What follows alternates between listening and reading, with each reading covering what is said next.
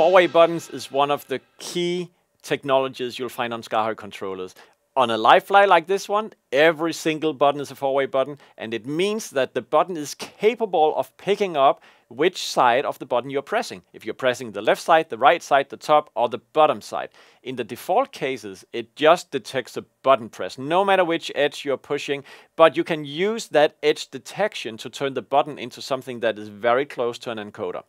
So no matter if I press top or bottom or left or right edge of these buttons, it's still selecting sources on program preview. If I'm turning this encoder knob, I'm going forth and back. I had this idea that I wanted to use four-way buttons in my audio control on this one. So if I go to the audio state that we enabled in the previous video, you can see that I'm, I'm toggling audio sources on and off. But what if I wanted instead to adjust the volume? That could be interesting. So what I'm going to do now is change the, the audio uh, adjustment of uh, with these buttons into something a little bit more radical. Now, um, since uh, we want to this configuration to, uh, to yeah, we, we want to start out with one button first, okay? So follow me now. So what I want to do is to just make a clean slate. And then I'm selecting an action called force HWC type.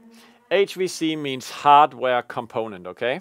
And that is a knob, a button, a fader, or a joystick on a SKAARHOJ controller. That's a hardware component. And now we are forcing this button to become a pulsed component. A pulse component is the generic way of describing such as an encoder. So when you turn it left, it is sending a number of pulses. When you turn it right, it's sending a number of negative pulses. So, uh, well, it's actually the other way. So right is positive pulses, left is negative pulses, and that is usually used to, to increase and decrease uh, values. That's what I'm now uh, forcing this to be. And when you do that for a four-way button, the, the right edge becomes a positive pulse and the left ed edge becomes a negative pulse just out of the box.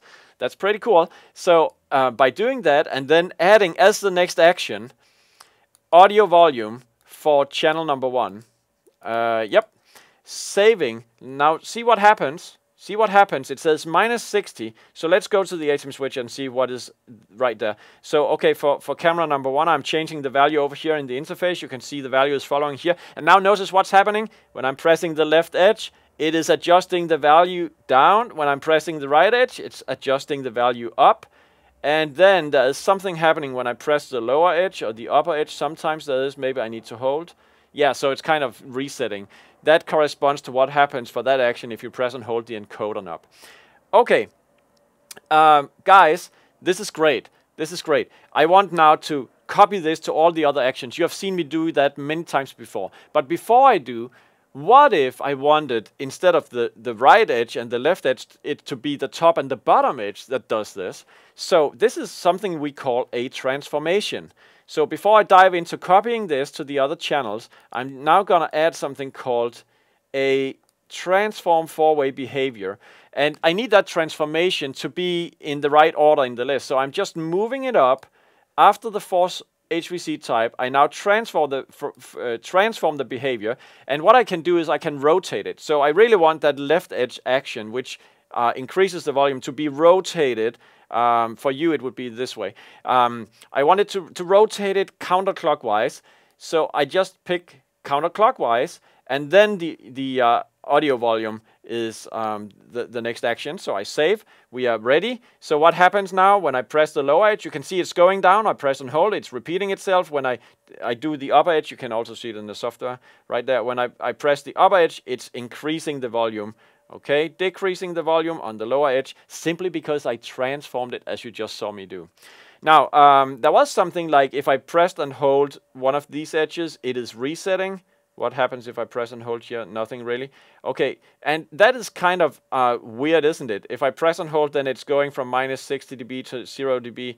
Maybe that's not exactly what I want. So I want to block out the left press. You can also do that in the transformation. So I can now go, I, I rotate it counterclockwise. And what I want to do now is I want to, to block the left and the right input. So it's only up and down that gets through and gives me the value adjustment. So now I did that.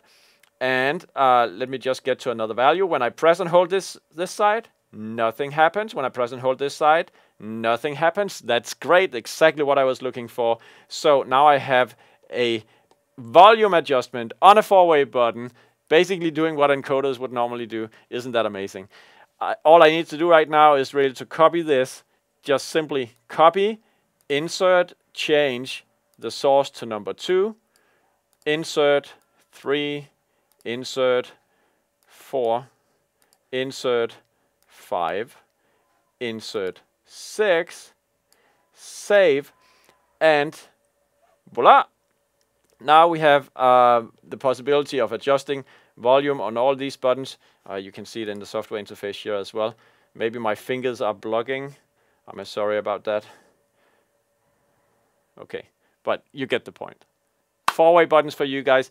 That's really exciting way you can utilize a single button as an encoder. Super powerful feature in SKAARHOJ controllers. And generally you find them sprinkled all over the place. So um,